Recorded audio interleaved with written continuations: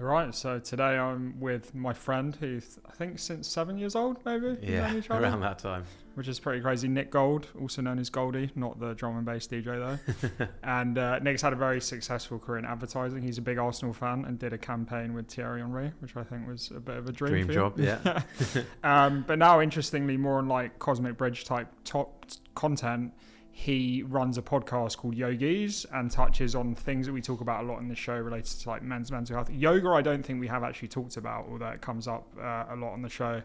when you keep stuff locked in and when you don't talk about it, it builds up and it builds up and it becomes. Yeah. It can even it can even become a physical issue as well. Yeah, yeah. But often that mental build up just makes life feel so much harder than it is. And I would say about three or four years into practicing yoga, I first started to experience it becoming more of a mental practice.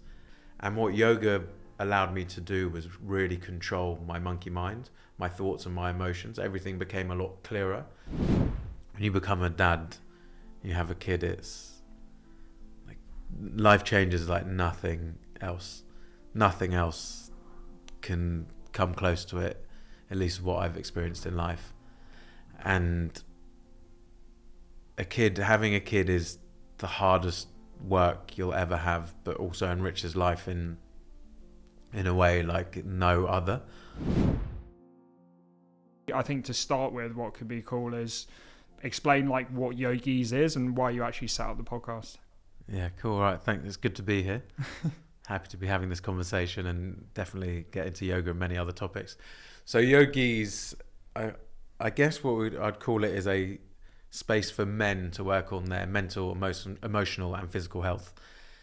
The reason why it started, uh, it actually originally started as yoga for men before it became anything. And then, after kind of talking it through the idea with a couple of mates that I was starting with, it kind of felt that it should be bigger than that.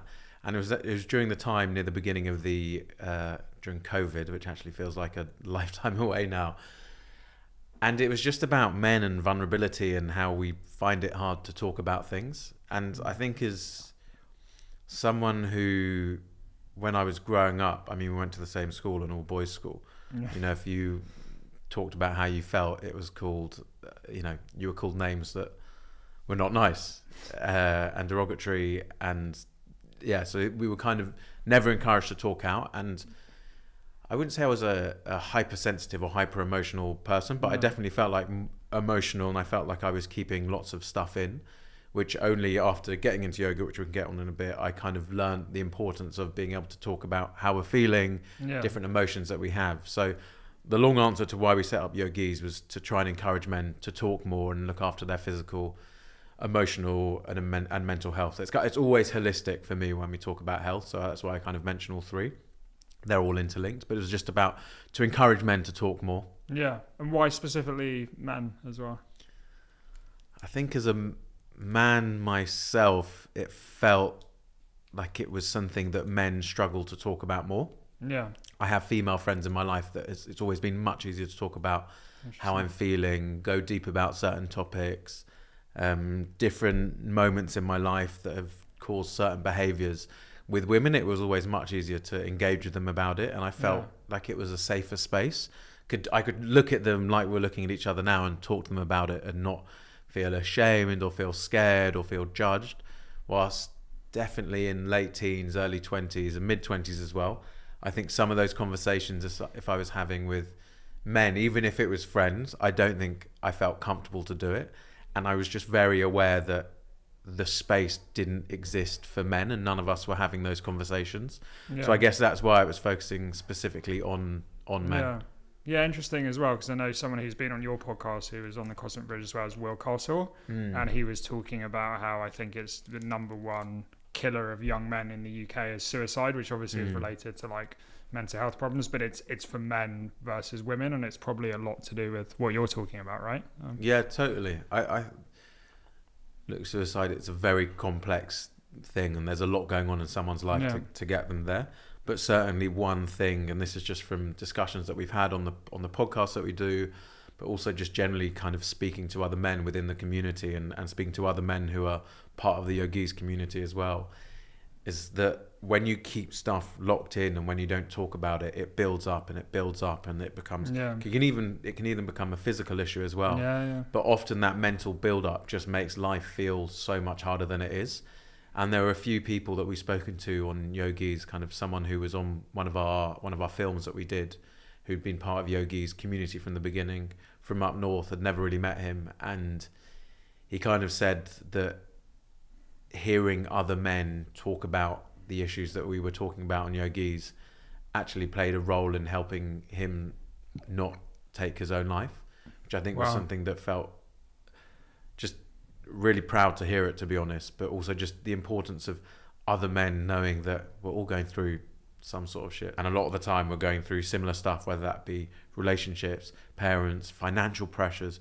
A lot of the stuff Yeah. we men feel, we're feeling very similar things. So I think the more we're talking about this in the open, it's like with Dele Alli's interview as well recently. The more that is talked about in in the open, the more it's talked about, whether that be high profile like someone like that, or just on a level that me and you have a conversation Yeah. with other mates as well. It encourages people to talk talk more and more. Yeah.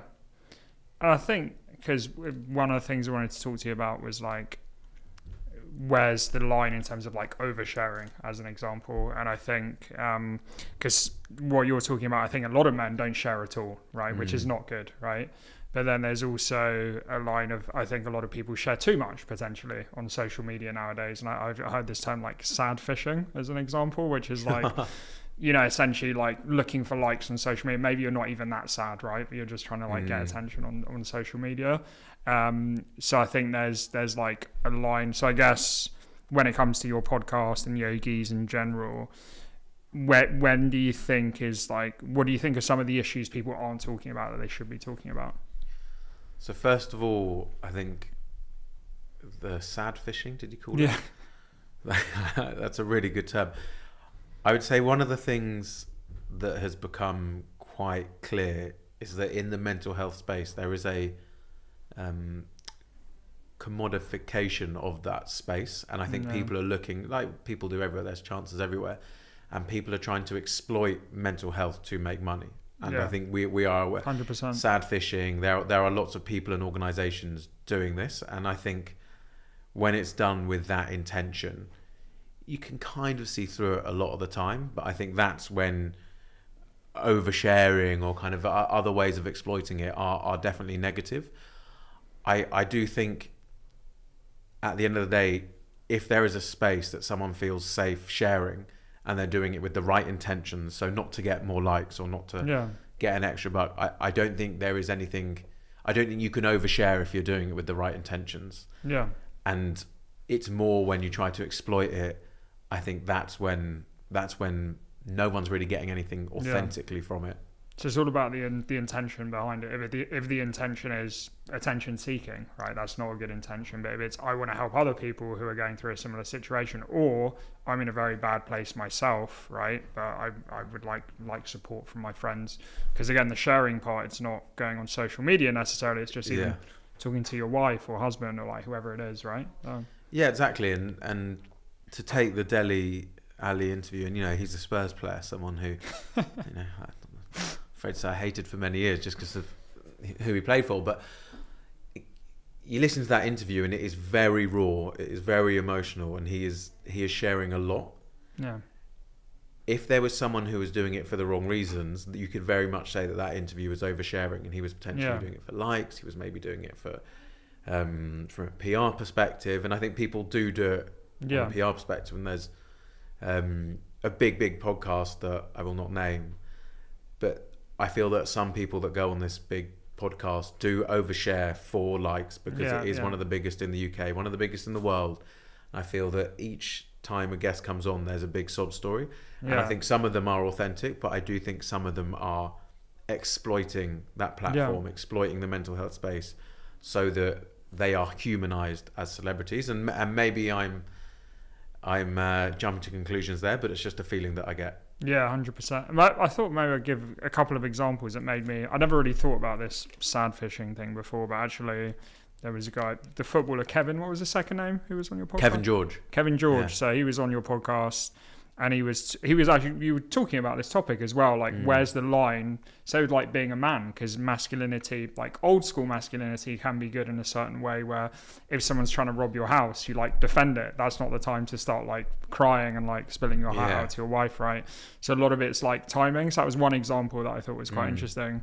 And then there was another guy we had on the show um, felix cock and his um, he shares a lot of mental health content. He actually runs a, a mental health business as well but he was saying again if you run a business if there's a crisis during that crisis you can't be the one who's like having a breakdown like you've got to be the leader Mm. in that situation so i think there are certain times where i guess timing is important is what i'm saying here with the like oversharing and like being vulnerable as well Yeah, yeah, for sure. I I would call it timing, and I'd also say find the right space to do it. yeah And that's kind of the same thing as timing. Like if the house is burning down, that's not the right space to Yeah. then have, you know, talk about your teenage traumas with your wife whilst the house is burning down. And and also in the same way that if uh, let's say we're watching like a football match with ten mates at the pub and kind of everyone's there watching the footy, then isn't the time as well Yeah. to go really deep into something like be vulnerable about something from your childhood or, or whatever Yeah, it is.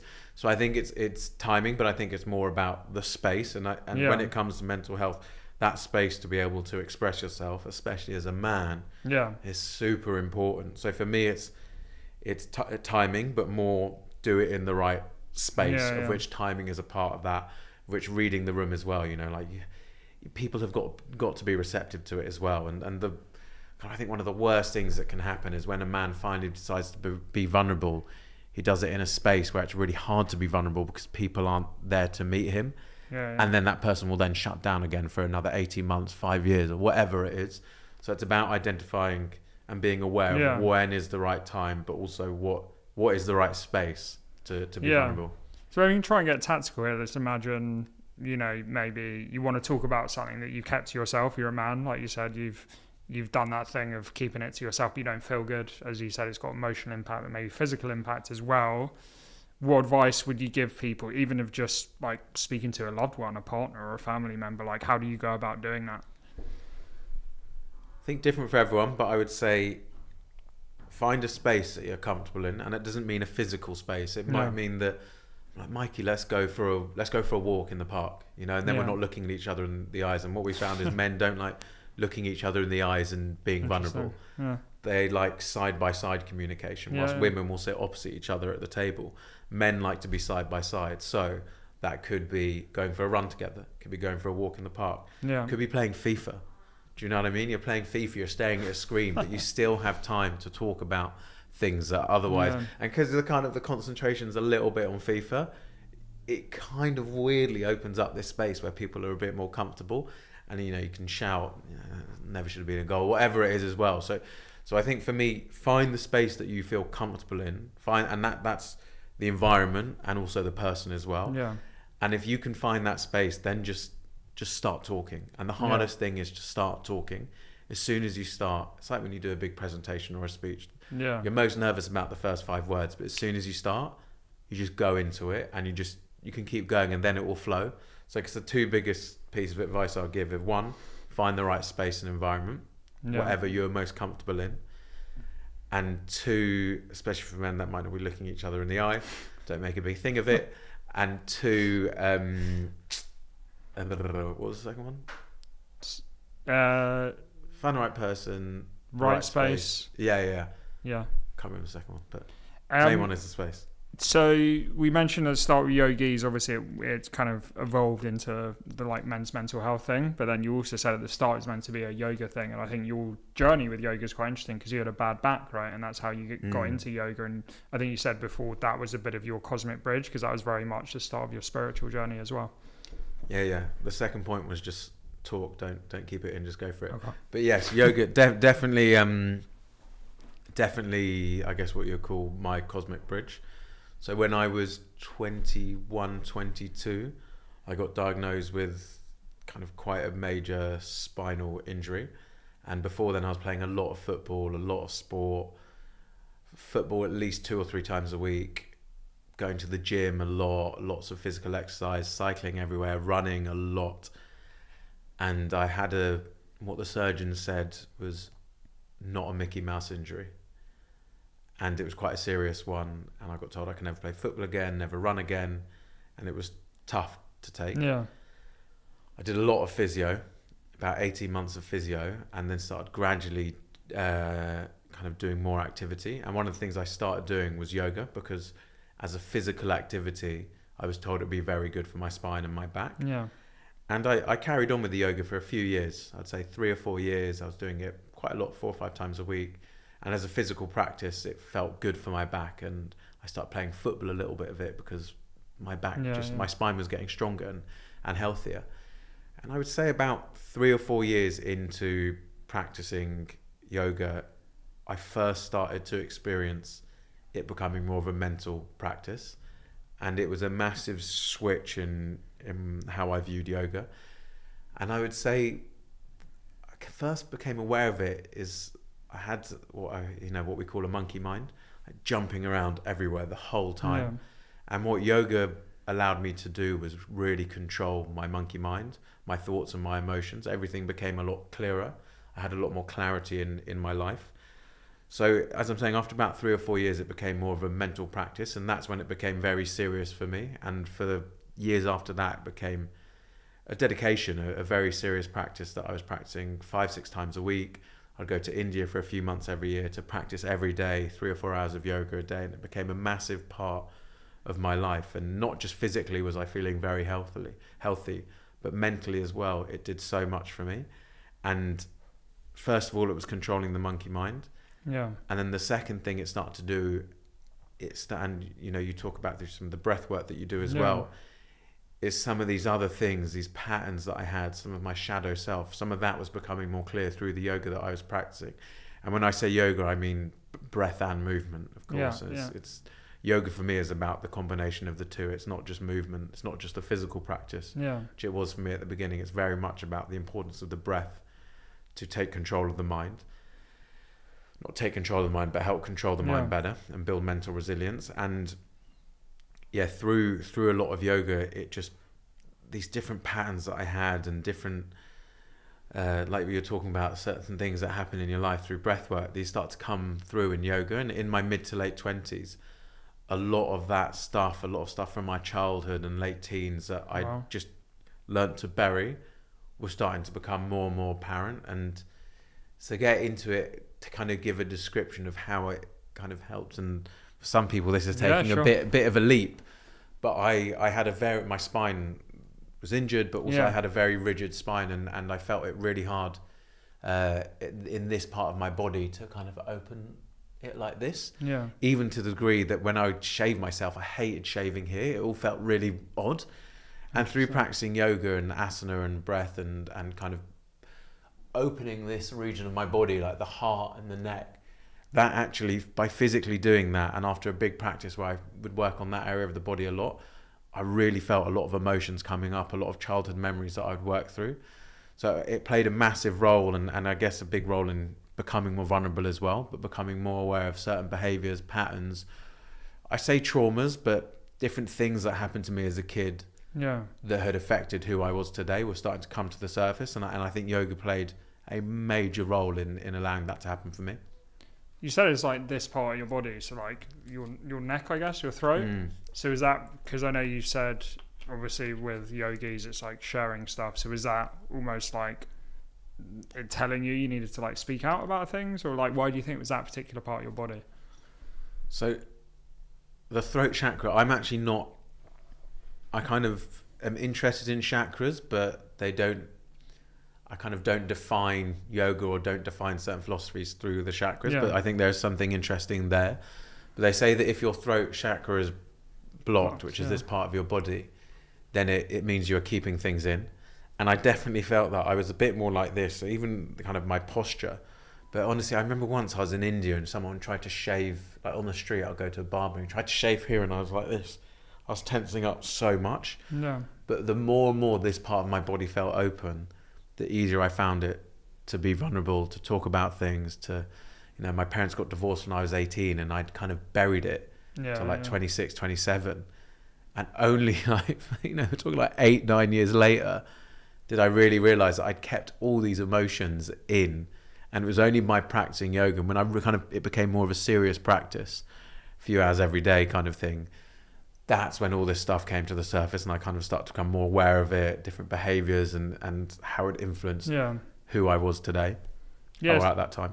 it's interesting because I also feel like, and I remember listening to Sadhguru talking about this, like that a lot of people in the West misinterpret yoga and they don't even think about the spiritual aspect of more like it's just you do these like movements and not even the breathing stuff and it's it's actually that's the big benefit is you can have almost like a spiritual awakening which is almost what happened to you in a way right?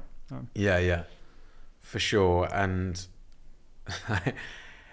there's nothing wrong with the uh, what I like to call Lululemon yoga, where you go, you stretch, you get, you know, you sweat, and a lot of yoga in London's power yoga, like power, power, power yoga.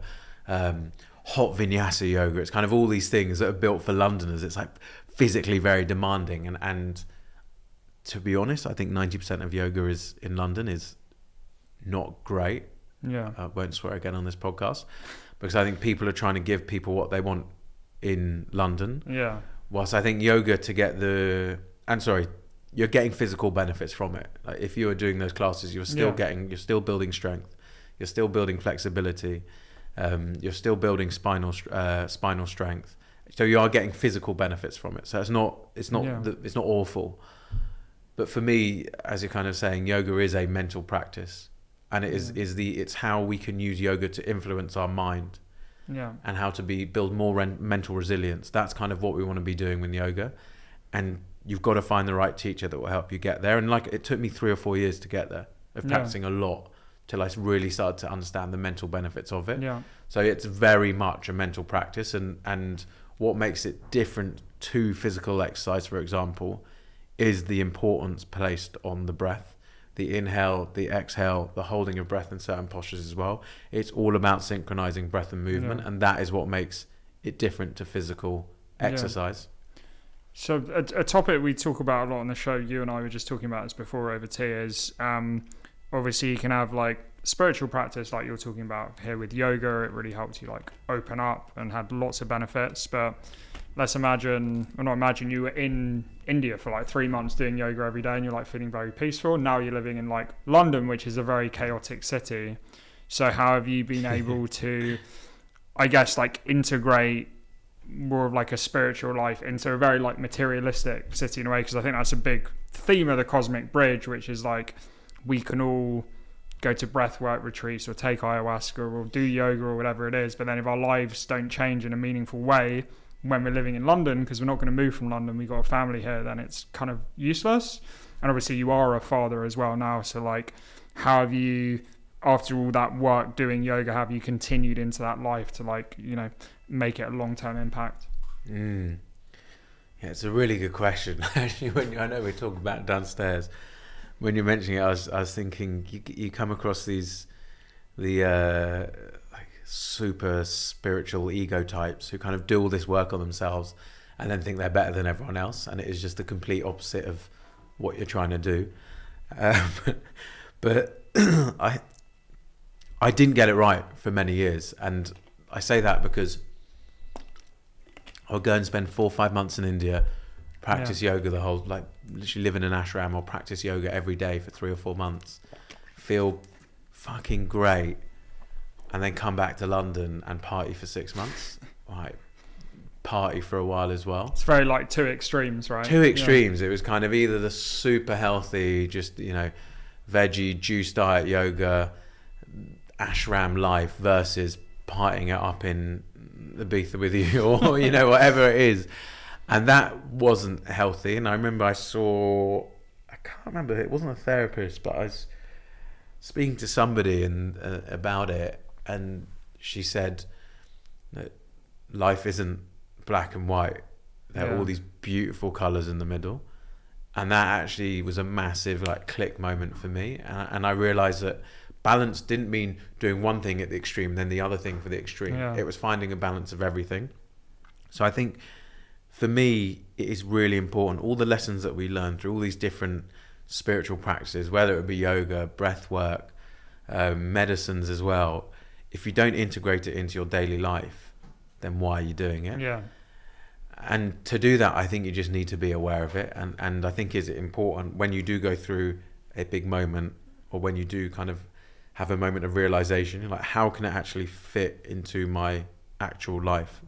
And you mentioned becoming a, a dad and I, since becoming a dad, the biggest teacher you have is your kid. Like that is bigger teacher than any medicine, any yoga or anything like that, and it teaches you so much. And patience has been my biggest lesson from from having a kid, and I've definitely become a lot more patient. But to go back to kind of what you're saying about the integration of everything, there's no point in doing all those things if you Yeah. can't integrate it into your life and and it's just being it's all about awareness and Yeah. also just being a bit practical about it as well i think is really important Yeah. She said having a child like the child and Goldie has an incredible daughter called Molly who's I was just saying very serene before the before the show but like having a daughter your, your daughter is your biggest like teacher now. Can you explain Yeah. that more? Not serene at 2.30 last night. But um yeah i mean yeah when you when you become a dad you have a kid it's like life changes like nothing else nothing else can come close to it at least what i've experienced in life and a kid having a kid is the hardest work you'll ever have but also enriches life in in a way like no other. I don't think I really understood what pure slash unconditional, like the purest form of love is. I don't think I experienced until having a kid, and I yeah love her to bits. But it does make life tough. You know, you've you've got to try and balance life, and that thing we were talking about balance earlier yeah yeah when you have a kid, balance is even more important, and you've got to try and balance the different important areas of your life. So that is being a dad, being a parent, your job, your relationship with your partner, your friends, your family, you, you know, as well. Like actually being make, making sure that you can work on yourself as well yeah and do the things that are important to you. And when you have a kid, your time just goes. You have no spare time. And it's so hard to make the time to do those things, but you've got to kind of work out what the right balance is. And for me, priority number one is the kid and making sure there's enough time, enough of my time and energy goes into her and making sure that when I'm with her, I'm fully present and not distracted by work. Because I think there's no point Yeah. in creating the time to be with your kid and then just thinking, oh, fuck, I've got this big presentation tomorrow. And your mind's not there. You've got to be fully present with a kid. And that is, I don't think, I think more than anything else in life, being present, it's important to be present everywhere. yeah And when you have a kid, it teaches you the importance of it because they know, they can sense if you're not fully present. So I guess another lesson from Marley is just the importance of being completely present with her and just balancing all those other important areas of your life. Yeah, it's a great point actually because it's the topic of like workaholism as a parent has come up quite a few times on the podcast, and it's like you said. Obviously, we're living in a different era now where people can work from home or freelance, and um, you know, obviously the traditional gender role is changing slightly, but so men are probably spending more time on average with their kids, but there's also just because you're spending time with them doesn't mean you're really spending time with them, and that's come up before. Whereas I was spending time with my kids, but I'm scrolling through social media because that's my job. I do social media marketing and I'm an influencer and I Mm. got all this. Whereas actually, it's like you were saying, is like if you're going to spend time with your kid, spend it properly, right? It's probably better to spend four hours a day with your kid fully present, right, than spending like eight hours where you're not present at all. So, Mm, totally. And the phone is so hard. Like phones are just addictive nowadays, and all these apps we have are Yeah. just they're built for us to be addicted to them.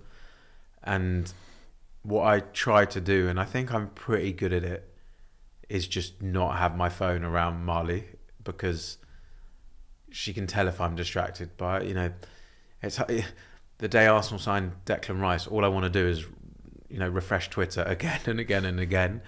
But I know if she sees that, it's the wrong thing for her to see. And so, as much as possible, I try not to be on my phone. And if that means me not being on my phone for 55 minutes and an hour, and then just taking a quick break from her for five minutes and Yeah. just checking my phone, my WhatsApp and Twitter or whatever, then I kind of that is for me the way to do it. But it's just the importance of being present with your kid is is everything because they they are way more intuitive than us and they know if we're not present. We can we can fool other adults, you know. We can Yeah. fool people. We can be having a conversation but thinking about what we're going to have for dinner, you know, or whatever it is, or something that's going on in our life. But with your kid, they are more intuitive Yeah. just because of they can't have a conversation like me and you're having a conversation so they pick up on other things more and so they are they know if we are not fully present and they'll be like why isn't daddy spending more time with me why is daddy not Yeah. thinking about me or engaging with me so so yeah you've got you've got to be present kids can sense it more than ever just create boundaries with your phone and it's hard i find it hard with phones and work but you've just got to create boundaries Yeah. So you said so, you, and, uh, there's a word that's come up again on the show, and you mentioned it. They're boundaries. You mentioned boundaries with phone. Have you had to like set up other boundaries, like since you become a since you become a father? Yeah, I. It's boundaries. It's something that I hadn't thought about that much until the last eighteen months or so. But I think in all parts of life, boundaries are so important, and it actually allows us to protect ourselves more than anything, and, and that that is the importance of setting boundaries, is so we can protect Yeah. ourselves, we can protect our energy, we can protect our time, we can protect our happiness by setting up these boundaries, and that might be boundaries with the part your partner, Yeah. with your, with your kid as well. Do you know what I mean? Like, I I don't want Marley to uh, to act a certain way around me or or think that she can I don't know, throw food in my face, for example. Not that she's actually done that, but uh, you know, other things that kids can do as, as two year olds can do. You're like, no, you can't, you can't do that. You can't treat me like that. It's like my partner Marley pulls her hair a lot, and it's like, no, you've got to set that boundary. You can't do that. Yeah. So, so boundaries are really important with your kid, with your partner, with work especially. Yeah. And this for me is where I've seen a lot of people I know struggle to set boundaries with work. And I always try to set boundaries from the beginning and I'm quite strict Yeah. about my time or if I'm picking up Marley, I'll say I can't do this now, I'm picking up Marley from nursery. Yeah. So I think the importance of setting boundaries in, in all areas of your life, but I think especially work, because I think work can creep into life, and especially like you're saying, we work from home, everything's digital Yeah, now. The the kind of those boundaries between work and life are getting more blurred now than they've ever been, and it's probably going to continue to happen like that as it just becomes easier to work on our phone or from wherever from wherever in the world. So being able to set strict boundaries with work, with your boss, with your team, with your clients are really really important. And like I say, it just protects your energy. It protects what's important for you in your life, and to make sure that I think you know that you can just be a better version of yourself. Yeah. Something I was thinking about because obviously you mentioned you know yoga has been like a cosmic bridge for you. Is that like you could call it a boundary, but more something you've you've ensured since you've been a father? Like you continue to do that because it's it keeps you like very sane and like aligned, or So I'd actually say I haven't practiced that much yoga since Marley's been born. It's been one of those things that when I talked about that time balancing equation earlier, stuff for myself, so practicing yoga every morning, that's Yeah. kind of evaporated. I kind of go through phases of doing a little bit, but kind of then drop out of it. It might be that I want an extra hour sleep in the morning.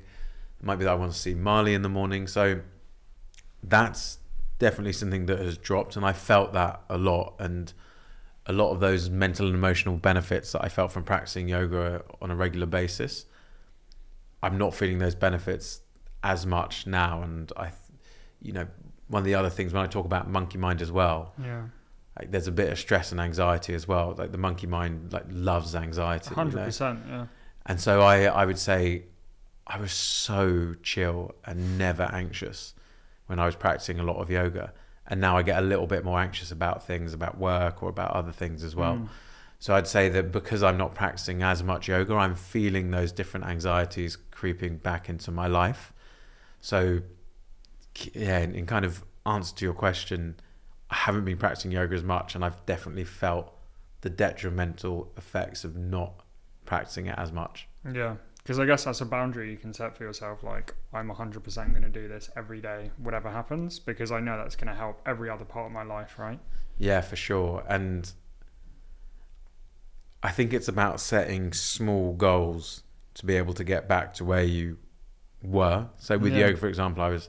It was a very, it, you know, I say it was a mental practice, but I was doing a very physically demanding style of yoga called Prana Vashya, and it was physically and mentally demanding, and that was kind of the benefits of it were so incredible for me. But I could not practice it now because I'm physically not in that right shape. So right now I'm, I've kind of breaking it down into small bits. I'm working. I'm actually doing reformer Pilates for a month to get my spine strong, so I can then get back into the practice of yoga that I like. So I feel that my spine is there. So it's like I do that stage, then I get back into the yoga, and I can hopefully kind of build back to where I was gradually, knowing that I'll never be able to spend two hours in the morning practicing yoga, which was what I was doing because it's impossible now. I don't have the time. But building those small blocks to getting back to where I want to be, I think is important. And like you know, like in life, in business, setting those small goals so you can achieve those Yeah. bigger goals is what is important for me and what I am learning or relearning again as a dad. Yeah, 100%. It's like the Atomic Habits. You read that book? It's here, isn't it? Yeah, it's always to say it's I here in the fancy studio. that, eh? um, but it's basically talking about what you said. It's like you you set one goal and then everything else. It's like a snowball effect, right? You do you set one small goal in the right Mm. direction, and then suddenly the dominoes start falling. Uh, Mm. Yeah, it's really important. And I was having this chat over WhatsApp today with my little cousin, and just about the importance of celebrating the little wins or even the Yeah. big wins, but just celebrating those little steps that you take are important. Otherwise, you're just always chasing that next thing. So I think it's important to set those small goals that add up to something bigger, like James Clear is saying in Atomic Habits, which I haven't read that book.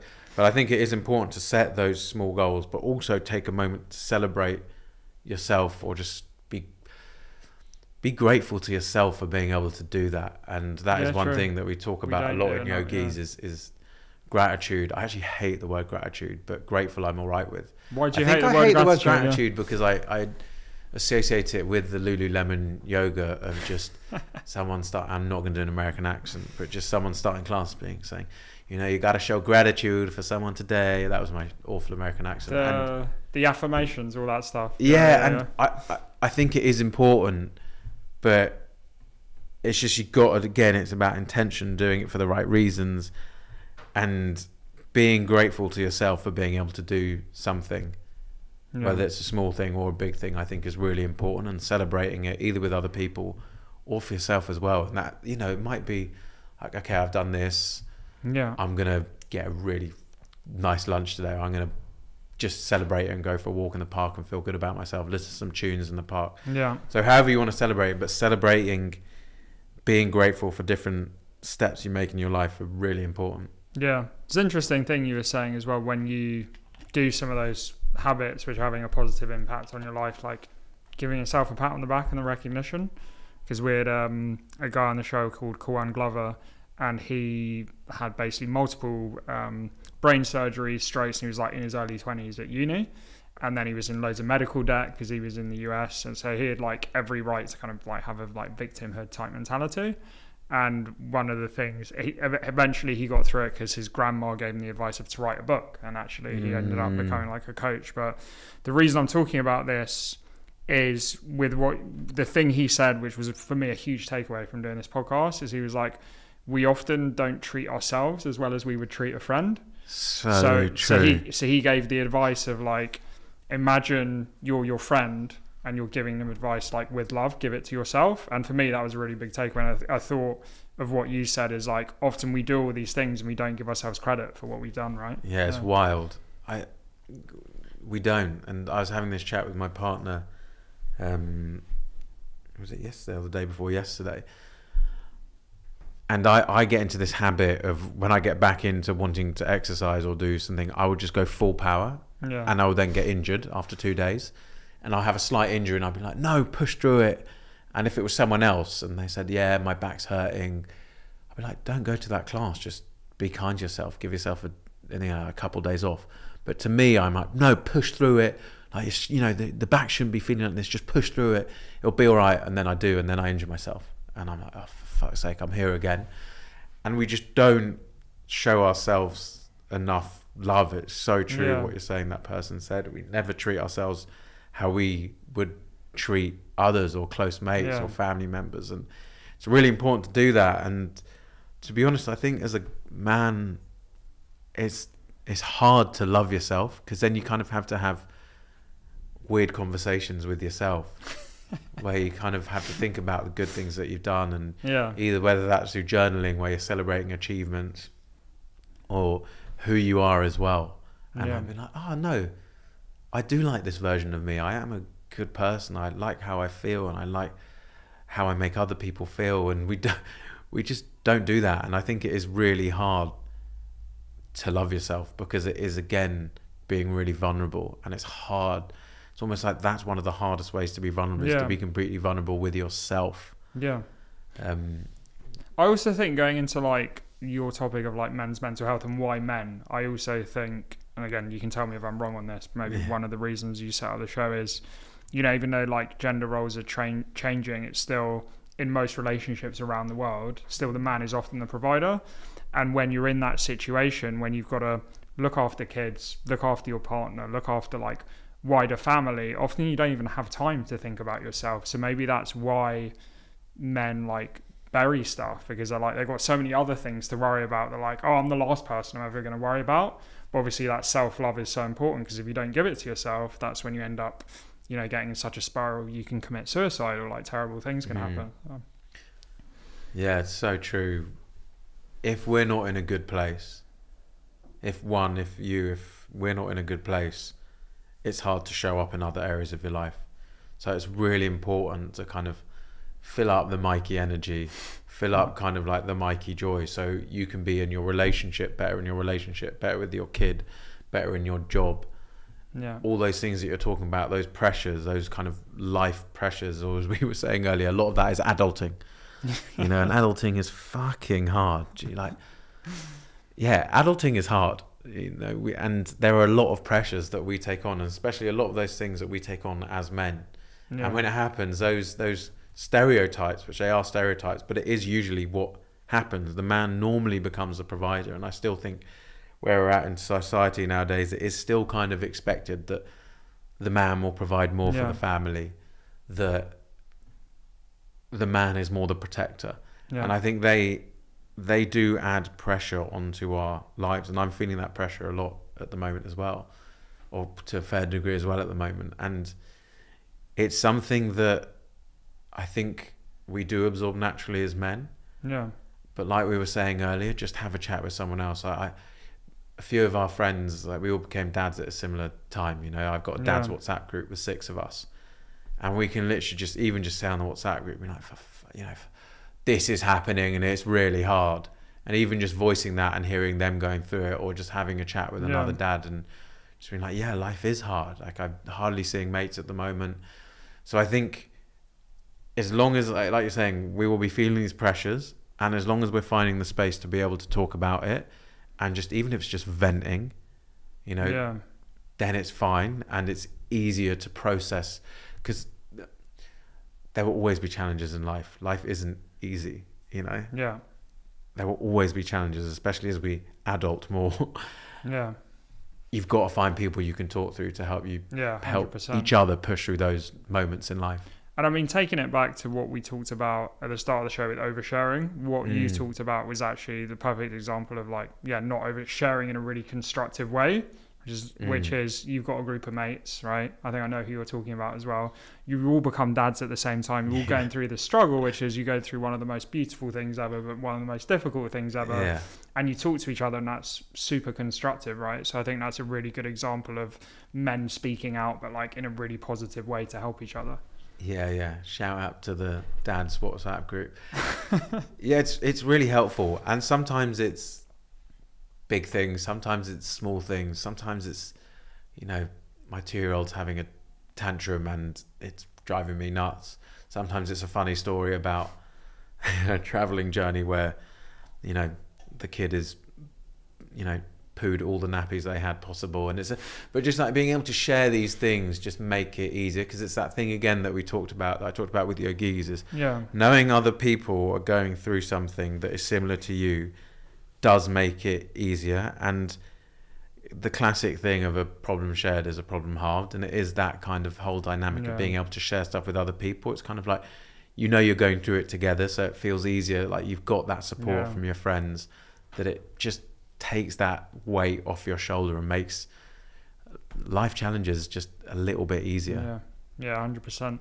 The analogy which you gave earlier, which I liked about like filling up your cup, so like with batteries, like on an iPhone, right? If Mm. you're at ten percent, take a bit of time for yourself to, you know, do hobbies, whatever Yeah. enjoys you for you. Maybe going down Arsenal with your friends or whatever Yeah. it is. Um, I know another thing uh, you've told me about is you get that often from like charity work and having a bit of Mm. purpose with like more of like work. So I don't know if you want to talk a bit more about that. Yeah, one of the best ways to to fill that energy cup and that joy cup is football for me, and generally going as an Arsenal fan to to White Hart Lane, the toilet bowl, and winning. I I get so much from that. Generally, for the next two weeks, I'm feeling just so much better about life because of that. so that definitely fills fills fills me up. Yeah. So with with the like you're saying with the charity work, I think it's something that's always been important because it's been something that my dad has done since I was a teenager, and I've. Uh, you talk about it a lot. That there's this. Uh, there's this collective energy, like we share, Yeah. you know, a shared consciousness, whatever you want to call it, but we are Yeah. all connected. And I think looking after other people is really important. I think you can, it can make you feel better as well. I, you know, I think you, you give for different reasons. That not just money, but time as well. Yeah. Volunteers you give for different reasons. One to feel good about the cause. One to feel good about yourself. There's a third reason that some people do as well, and that's to you know look good to other people as well. But to give is is something that I think is really important. You know, if we're using the cup analogy, we should fill some of our cup into other people's our energy cup. Yeah. We should fill some of that into people who are depleted, people who have less than us. Yeah. And so it's been really important. And and after I I was in advertising for five or six years, took a break, career break, went traveling, practiced a lot of yoga, came back and worked for a tech for good company.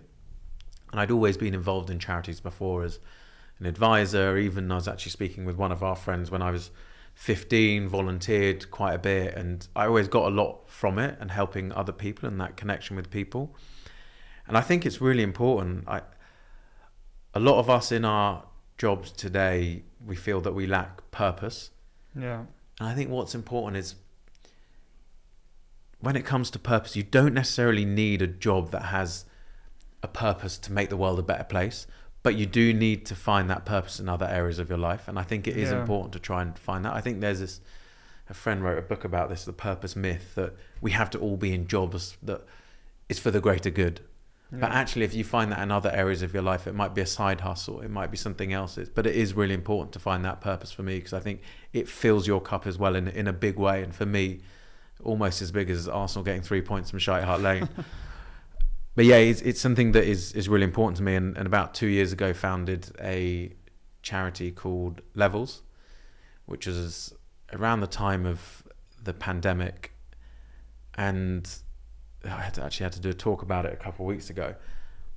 So we, we started this charity to help young black and racially underrepresented founders and entrepreneurs to try and take their business through the next to the next level.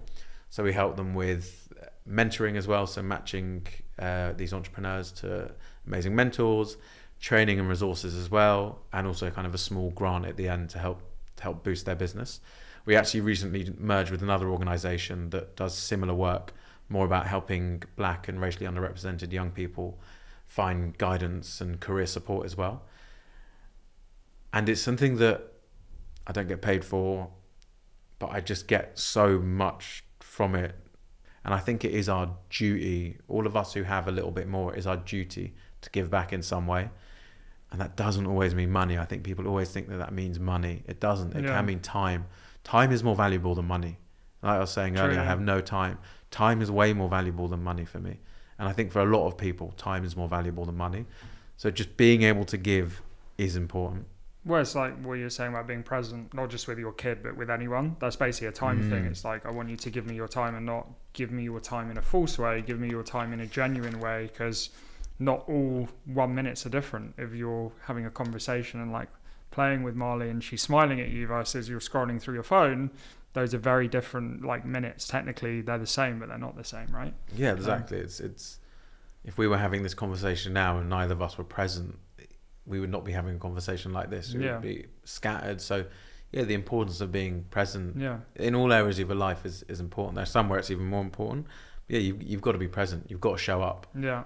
Which- Otherwise, you're yeah, you're not there. and we've you've, I've talked about this with you because you started your podcast before me, and that's often why the in-person things work better Mm. because you can be more present, right? Versus on Mm. Zoom, it's a lot easier to like scroll to another tab, and actually the Yeah. person you think they're there, but they're not really there, right? Yeah, Uh, Zoom is so hard for that, and it is harder to pay.